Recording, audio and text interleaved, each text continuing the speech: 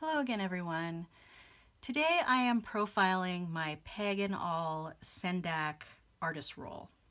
This is the regular size or the large size and I'm just going to warn you right now you're going to see a lot of dog fur on this thing because it is a waxed canvas and for some reason once it kind of rubs up against things like that sometimes it fur will stick to it a little bit. So don't be alarmed, it's just dog fur.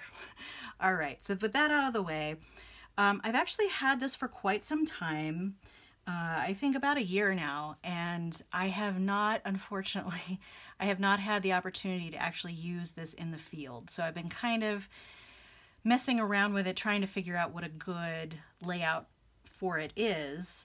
Um, the long and short of it is this Sendak carries a ton of material. Um, oh, and this is the, I'm not sure what color green it is, but it's the green wax canvas with the brown leather. And I'll show you the back here too.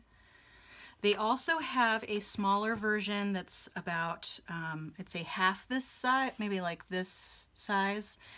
Uh, it's the same length tall, but it's a little more narrow. Uh, and my husband actually has one of those, and I, I, may pry it away from him at some point and show off his uh, setup. But this is the one that I'm using, and uh, let's go ahead and open it up and see what I have in here. So first, before I open it up though, I wanted to show you that there are two outside pockets here on the outside of the roll. And in one of them I have, um, because my intent was to bring this with me when I'm hiking around, and want to do some uh, plein air sketching, watercolor, etc. So I put some, um, what is this stuff called? It is uh, like these little things to prevent blisters when you're hiking. So I have that back here. Um, yeah, it doesn't really say what it is. I want to say moleskin. Is that right? I don't know. I'll, I'll find it out let you know in the comments below. But so in the front pocket I have that, and then in the back pocket I have an A6 sketchbook. So um, this, this totally fits back there with everything being full inside and then that's what I can use. So basically I could just have this and you could just carry it by the, um, the loop itself, but I would, would probably carry this around in my backpack. Uh, the backpack that I use is a Tom Bihn Daylight backpack. Yeah, um, what's the thinner material?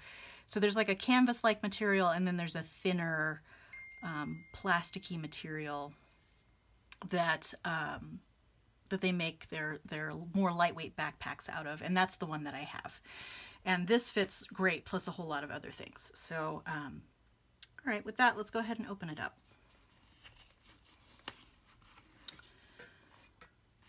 So it's meant to fold up in three sections. So the first section being these flaps here and the two other sections being these two areas here. Has this nice little zipper pocket over here. And I, I'm really surprised at how much this holds. So I have some washi tape in here so that I can tape off some edges on the paper if I'd like while I'm watercoloring. I have a little pencil sharpener here. I have a little spray bottle that I use to spray my um, watercolor palettes to get them going. I also have some little sanitizing hand wipes in here. I have some earplugs. I don't know why I put earplugs in there.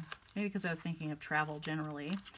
Um, and then I also, well, definitely, because I also have some uh, wardrobe tape. I, am actually not sure if that's the right phrase for it. It is um, sticky tape that where you can uh, tape your your lapel together if it's coming apart because that tends to happen for me a lot so that's why I have that. I have a um, a sand eraser in here and that's really to get rid of pen on my page. You don't want to you don't want to vigorously erase with this but if you erase it just a little bit, you should be able to get some excess pen that may, may have gotten astray on your page or something like that. I also have some paper clips, well, or uh, binder clips. These are really cool binder clips that fold down so they take up less space. Um, but these would be to keep my sketchbook open. Okay, I have two of those. I have a little natural sponge here for the watercolor. You can use that for tree texture or a variety of other things like that. And then lastly, I think that's everything, I have a little um, Mono Zero eraser to kind of get into fine little areas there. Okay, so that's what's in the zipper pouch, which holds a ton. Okay, I'm gonna open up this flap too. And let's see, I am going to start in the back because one of the things that I'm kind of excited to show you is this watercolor palette, also by Peg and Awl. So this is a wooden watercolor palette with a um, strip of leather over the top, so it just fits into that right there. And here is my little color guide to what I have in there. So because there's no mixing palette, on this particular uh, watercolor palette, I decided to put colors that I wouldn't necessarily mix or mix with other colors. So I put a very neutral palette in here for things that I could use pre-mixed. Uh, and you'll notice that I also have, I think I may have mentioned this on the channel before, the Natural Pastel, aka Woad uh, watercolor. So this is made out of that natural pigment and uh, it's still a little tacky.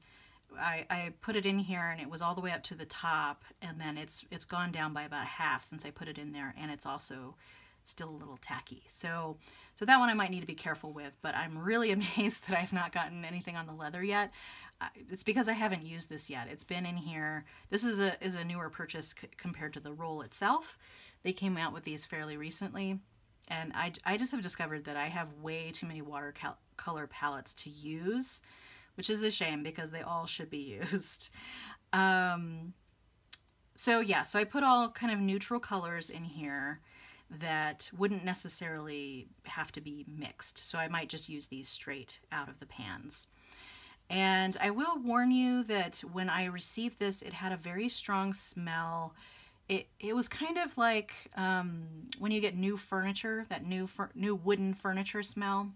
It, it smelled like that a little bit, a little bit, but the smell has since dissipated and it's fine. So I'm just going to put that little guy back in there. And then when I found this recently in here, because I'd kind of forgotten about it, I realized that I do need to swatch that palette. So I'll put that in there so you can actually see the little peg and awl. And then I have a um, Sailor Fude pen, which is a pen with this um, bent nib here. So essentially you can get different uh, qualities of line by moving the pen up and down. So if you put it at the angle that, I, I think this is, so they, they carry them in different angles, which basically means you're gonna get the thickest line at whatever angle that is. I think they have a 45 and a 55 degree angle pen.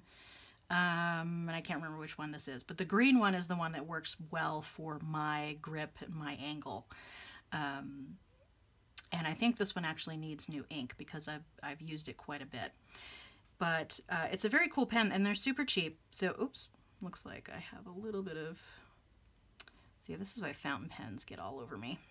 So, and I do have, I believe, a permanent, no, I do not. So I, I have a water soluble, man, I'm gonna have to get a paper towel here. I have a water soluble ink in here and so I cannot watercolor on top of this but what I have done boy this must have been sitting around for a while. What I have done is I have um, used this with water to do sort of a pen and ink painting. So it's a really nice pen for that. And you can get them just about anywhere Amazon um, and variety of stationery stores. I have a little water pen or uh, water brush here. This is, does it say? Kuretake. This is from Kuretake. And it's I've used it a lot, so I think it probably needs to be replaced. It's a little bit of a, um, oh, here I can get my finger wet and get that ink off. the, um, but you can see, so it's very water soluble, that ink is. Um, so I may need to replace this because I've, I've used it a lot and it's and it's gotten a little worn. And I think that this is the large tip. for this model of Kuretake, but I'm not entirely certain. Okay, put that back in there. Uh, I have another watercolor palette back here, but I'm going to show that at the end. So then I have, this has permanent ink in it. This is a Lamy uh, Joy. It's the Lamy Joy, which is the, uh, it originally comes with a square uh, stub nib so that you can do calligraphy. That's, that's what this is for originally. But what I have, and this may seem silly, and I've, I was kind of copying Jane Blundell when I did this, um, or maybe Liz Steel. They're, they're two big watercolor sketchers that I follow. Um, I have a Lamy Gold nib in fine on here. Um, why? I don't know. I got the gold nib on sale when it was otherwise I would not recommend getting that because it's kind of pricey. Uh, I have carbon platinum carbon ink in here so that is permanent so this is essentially what I'm using as my sketching um, tool for watercolor so I'll put I'll put my basic sketch down with this and then watercolor over it once it's dry and I'm surprised this has stayed as white as it is. You can see on the tip here, though, that it's starting to get a little discolored. And then here I have a uh, Tachikawa sketch pen, or uh, I'm sorry, dip pen. So with this one, and then I have a uh, comic nib, G, G nib on the end. I forget the exact name, but again, I'll put a link down below. But this is just for, um, sometimes you can sketch with watercolor with this. I, um, you can, with your paintbrush, a fairly thick um, mix of watercolor, you can put that down. You can basically rub your brush down into this little space here and then turn it around and draw with it that way. You could do calligraphy that way. I do mostly sketching with that. Um, and this has kind of been through the ringer, but it's still not doing too bad. This is a relatively new nib on here, so it hasn't gotten all messed up yet. and then it has that little cap, which is really nice. So that's in there. Um, okay, there's two more things in the back here, and then I'll show you that watercolor palette. So this is a little uh, compass. It can function independently as a pencil. Just push that out and it's a little pencil there so you can draw with that in addition to it being a compass, which I will, let's see, how does that work? There we go. So you fold it out and then there's another piece that folds out here. The only issue with that is you have to make sure that you don't um, push it too hard while you're using it because it might close because it doesn't have any kind of locking me mechanism for um, when it's open. But it is pretty handy mostly for circles, obviously. okay, so I'll put that down in there. And then this is a pocket pair of scissors. So this cap comes off there. There is a little thing that goes down on either side here to give you your handles. It's obviously not the most ergonomic pair of scissors in the world, but if in a pinch, if you're just trying to cut something like, uh, although I usually tear my washi tape, you could cut your washi tape or something else um, while you're out in the field. So I'm going to push those back up, click that back in. And what's nice about these is they, both, they all have a little pen loop there. Okay, so let's get to the watercolor palette that's in here.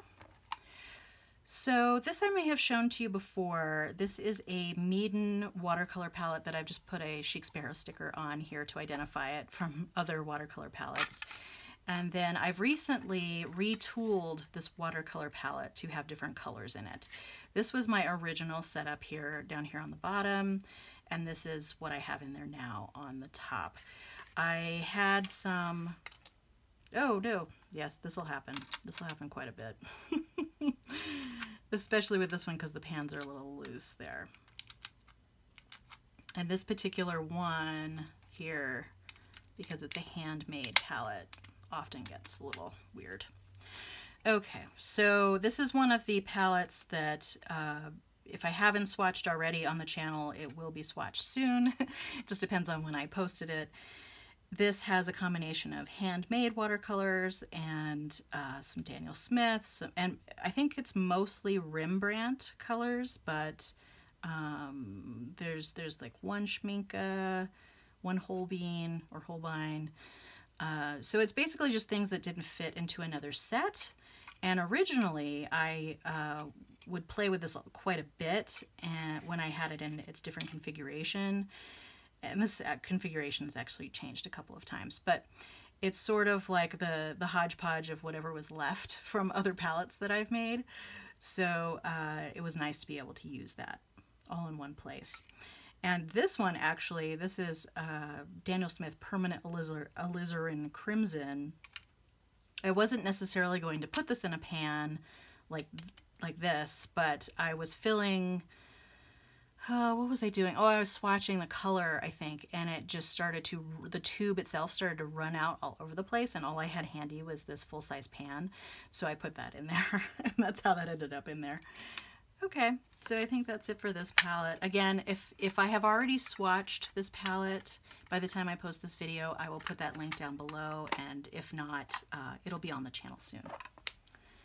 So let's go ahead and put that down in there.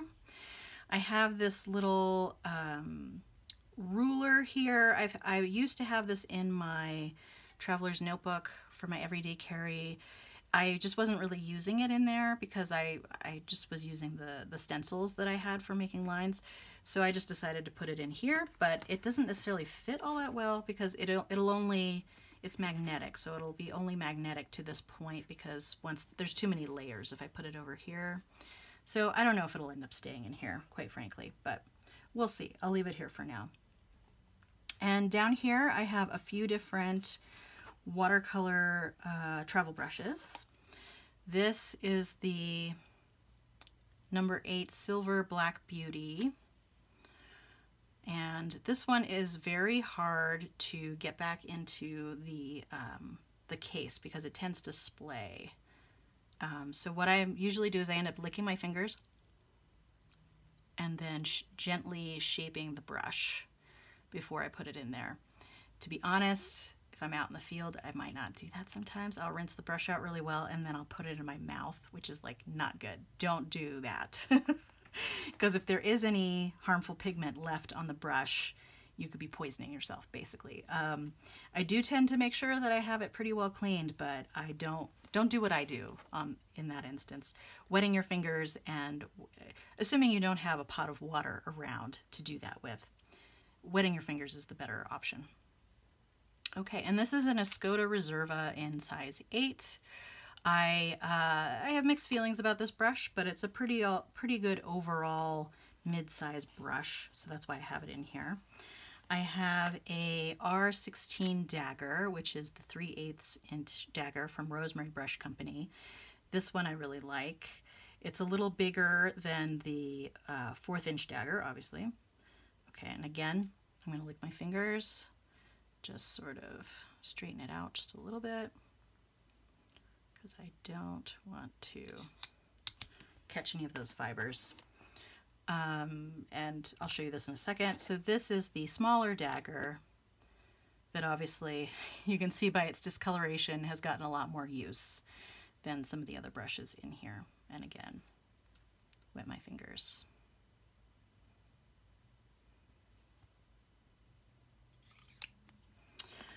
Okay, and here I just have a little headphone adapter, headphone Apple adapter. Oh no, it's stuck in there.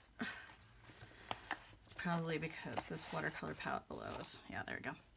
So um, I was always losing these and just wanted to have one close by for when I might need it. So that's why I put that in there. Okay, and this is a Sharpie permanent marker in an ultra fine tip. I'll label things, uh, even pans, if, if, for some reason I'm working with uh, pans that I need to label, I'll use that. This is just a Sharpie pen, which is like a fine liner pen, permanent when dry. And then that's kind of the most common pen that I use if I'm not using a fountain pen for sketching. This is a, uh, is it Kuretake? No, it's Pentel Pentel brush pen, and this I believe is permanent ink. So you can replace the ink back here. And that is a permanent ink cartridge. And then I have a Micron PN. PN is roughly the size of a 0.5 or a, or a 0.5, sort of in between a 0.5 and a 0.3, but it has a plastic tip, which makes it um, much more flexible than the regular Micron. So if you have a really heavy-handed, sorry, my husband is texting me about pizza. Like, dude, stop texting me.